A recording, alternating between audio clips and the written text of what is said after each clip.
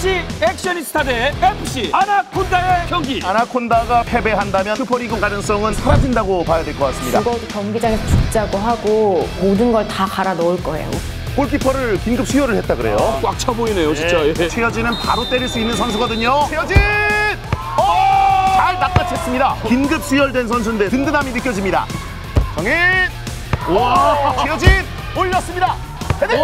액션이스타는 분위기를 좀 추슬러야 됩니다. 기습 공격 들어가야 돼, 기습 공격. 정혜인이 나타납니다. 정혜인, 정혜인. 오! 어, 백힐 좋아요. 정혜인, 정혜인 갑니다. 정혜인의 드리블 쳐. 정혜인 대단합니다. 태진아 3번 해봐 3번 3번 3번 김태진 따라붙는 거 보세요. 자, 최여진에게 어, 신하요. 신하영. 좋아요. 윤태진, 윤태진 갑니다. 윤태진, 해 태진아 해해 윤태진.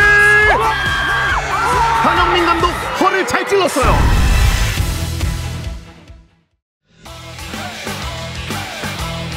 모두 다 뛰어 두 주먹 쥐고